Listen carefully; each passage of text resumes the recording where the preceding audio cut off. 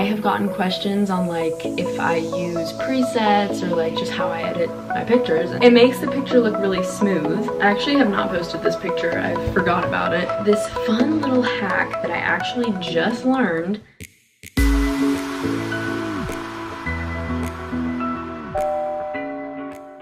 Okay, we're starting. I think we're okay. I started this and then I decided to stop and put it into iMovie and see if the quality was okay. I think it looks okay. It just, it looks normal to me, but I thought that same thing when I was editing my morning routine and the quality was like weird and wonky and I don't know what happened still. Switched up some stuff. I hope everything looks okay. But hello. Welcome back to my channel. I hope you like the setup. I normally am facing the other way I'm just kind of switching it up, living on the edge. But today I'm gonna show you guys how I edit my Instagram photos. And it's actually so simple. Like you don't even know how simple it is. I use one filter. I've been using the same filter since like October of 2020. And it is a filter, it's a Lightroom preset that I downloaded or I bought off of Etsy. And when you when you hear like I bought it, it sounds kind of crazy, but it was literally like 50 something and all I had to do, I bought it, I downloaded the preset, I imported it into Lightroom and set it as a preset and that's what I use. I don't think I can really show you that process right now just because there aren't any presets that I want to buy, but it's super easy. Like if you ever want to buy a preset you can go on etsy. It's literally it's really like the easiest thing. Or like there are influencers that sell presets. I have bought ava gutowski. My life is ava you probably know her. Um she has pretty cheap and affordable presets and i have a few of those as well. Anyway i thought this would be a fun little idea because i have gotten questions on like if i use presets or like just how i edit my pictures and so I figured I could do a little video on it. I take all of my Instagram pictures, well like most of my Instagram pictures on an iPhone. Sometimes I will do like a photo shoot where there's like an actual camera involved but that's rare. And if a photographer takes pictures of me, I don't edit the pictures because it's their picture that they took and they edited. So there's that. There's a wasp on my window right now. Like, I think it's stuck between the screen and the window because it's been there for days and it's progressively getting slower. I think it's dying. anyway, I just got distracted. Okay, so like I said, I use Lightroom presets. So I use the app Lightroom. Oh, I should probably screen record. This is what it looks like when I open Lightroom. These are pictures that I have edited. These up here are the My Life is Ava presets. This is the preset that I use. So normally I will take some pictures. I actually have some, these are all like my favorites in my camera roll. I guess I will just choose one and show you guys how I would edit. So these down here I actually took yesterday. I have not edited them yet because I knew I was gonna film this. So these were my favorites. I won't post all of them. So normally I will like choose my favorites and then choose my favorites from the favorites. So I think I really like this one, this one, and this one. And then I export them and hit Lightroom, launch Lightroom now, and then they just pop up right into Lightroom. I go down to preset and all of the like essentials, these ones, and then free. I named them, but there are the My Life is Ava presets. She has different packs. I used to use Essentials 8 last summer, and I also used the free 7. These aren't the actual names, they're just what like my brain called them. But anyway, these are not the filters that I have been using. I go down to Soft Etsy. This is the one that I've been using. Every picture is different, so I will go in to each picture and adjust different things. So for this one, it was really sunny. Also, I took these in like Micah's room because the sunlight was like coming into his room. really nicely and I was like, I'm gonna take a picture. Anyway, I just kind of play around with exposure. Even though it was really sunny, I honestly feel like it could be brighter. And then I think the contrast can go up. I normally bring the whites up just because I like the brighter look. I don't like how yellow the preset is. Sometimes it works, it just depends on the picture. For this one, I think maybe bring it down like the tiniest little bit, bring up the saturation, make it more vibrant. I sharpen it, and then what I really like to do is in the same like detail section, I go down to noise reduction. By the way, I don't know what like half of these words mean because I'm not like an editor, but I go to noise reduction, reduction, whatever that is, and I turn that up and I've noticed it makes the picture look kind of like it was taken on like a professional camera. It like smoothens out, is that a word, smoothens? It like smooths out. It makes the picture look really smooth. So like obviously if I did it a lot, it kind of looks a little bit fake. So I never go all the way, but I don't know if you can tell the difference, but I can. And I normally go like in this range. I think I'll go there. And I kind of want it to be a little bit closer, just like a little. Justin Bieber's tweeting at me. Yeah, we're just like friends.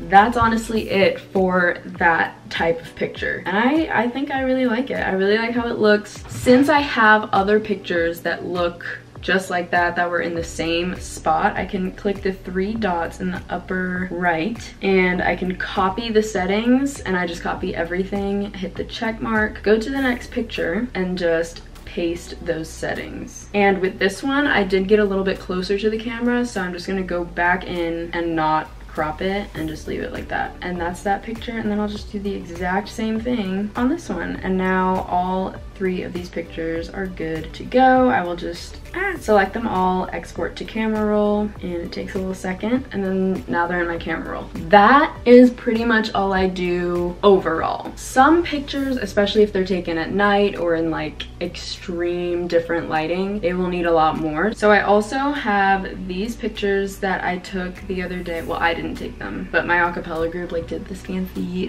thing and we got some cute pictures. I've already posted them on Instagram. You can go follow me if you so desire. We'll start with this one. I'm gonna go ahead and first put the preset on and already like that is it just looks like a lot. So I'm gonna go in, put the exposure up a little bit, and then actually bring the contrast down. I'm trying to remember what I did since these were already edited. And then I actually want a lot more warmth and that changes it so much. See, like with the other picture, I didn't like how yellow it was, but this one like needs it. So I'm actually gonna bring it up a ton, as well as the saturation and vibrance. And then I'm gonna sharpen it probably a little more. I'm gonna go to effects and make it a little bit clearer just because I feel like it was a little blurry. And then the noise reduction, that's the noise reduction is my favorite one just because I feel like it makes the picture so much better. Okay, honestly, like I said, I've already edited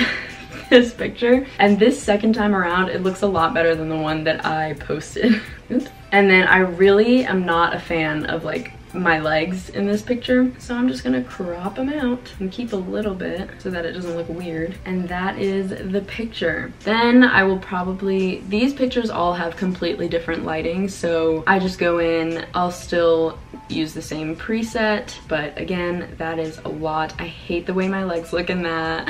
so we're gonna crop her out. We're gonna make her brighter, bring down the contrast, um, bring up the whites, bring up the temperature. It's a little much. Saturation, vibrance, clarity. It's like the same things that I do all the time. It just depends on the picture for like how much I drag the little bars. Noise reduction, and actually this one is very pink, which I do kind of like. It's just a little bit much, so I'm gonna go into the tint and bring it down a little bit, and then that's that picture. The other thing that I did with these pictures that I have never done before, and I actually learned from my friend Bridget, like literally the day that I posted them, is to download Facetune which I've had before, but I never knew how to use it. But she said that there's this new feature called Neon, and it was like perfect for these particular pictures because there was so much color. So I'm gonna save these. I'm gonna go right here into Facetune. We're gonna get the picture in here. And I think it is so cool. It's kind of hard to explain because I literally just learned it, but you can put different like neon colors on different sides of the picture. So on the left, you know, you can have like any sort of color you want. I'm gonna go with like a pinky color in the middle. And then I can go in on the right. I kind of like the yellowy orange color. So that is the before and that's the after. It just looks so much more colorful. And I did like the same thing on the other pictures, just like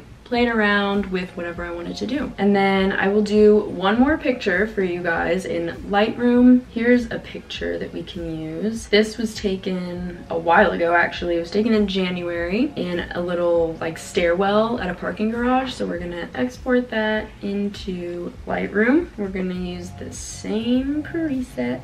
I actually have not posted this picture. I forgot about it.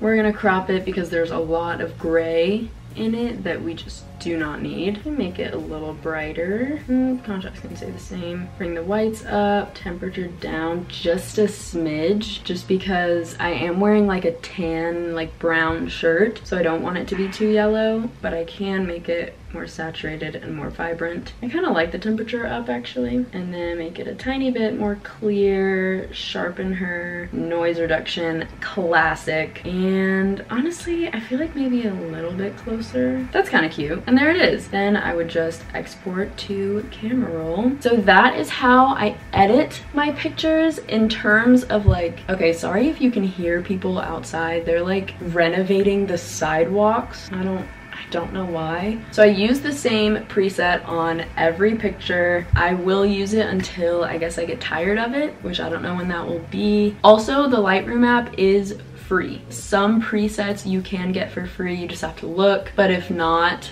they can you can find presets for super super cheap in terms of like my actual instagram feed i do have an app called the preview app it's that one right there it kind of helps me plan my feed a little bit. I don't have like a schedule. I don't put like a ton of thought into planning my feed, but I do like it to look good, which is part of why I do use the same filter. So this is my current feed right now. I actually only have one picture that's like waiting to go up kind of thing. However, I did take those other pictures yesterday that we edited today. I normally choose the one that I would want to be the first picture. So I think it would be this one maybe? And I import that and I just play around with it. I see what I like and what I don't like. Honestly these two pictures look kind of the same. I think it's the stone in this picture contrasting with the blinds in this picture. It kind of looks similar but I also like I said I don't think about it too hard because I like both of the pictures so like I'm gonna post them I just like to see if something looks like really bad, but that doesn't look terrible. And I think that once I take more pictures in the future and add those in, then my feed will look better. So all of these have been posted except the top two. And then the last thing that I want to show you guys is this fun little hack that I actually just learned where you can go into Instagram and you know how you can like repost your own story or your own picture. So here's this picture that I just posted. Yes, I like my own pictures because hello, I deserve it. When you go to repost your own picture, you can slide it to the right and type in whatever hashtags you want and then cover it with the picture. You know, you know what I'm saying? However, if you don't know anything about hashtags or like what the best hashtags are, because I don't. I have never cared enough to really like look into it. There is a website that I don't even know where I saw this, but it's called displaypurposes.com and you can literally just type in like a few hashtags. So like I can type in like Insta, it'll come up with like multiple hashtags. I could type in curly, YouTube. I already did curly, but maybe I'll do like natural. And so I just typed in like four things and all of these hashtags are here and then I can go ahead and copy it. The dots are there if you like to put hashtags in your comments, like on when you actually post something. But I will just take the dots away, copy it, and go back to my story, put it behind my post that I'm reposting, and there you go. Honestly, I have yet